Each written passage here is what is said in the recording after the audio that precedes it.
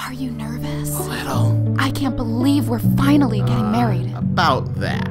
About. I wanted to tell you earlier, I can't do this. Keep the ring.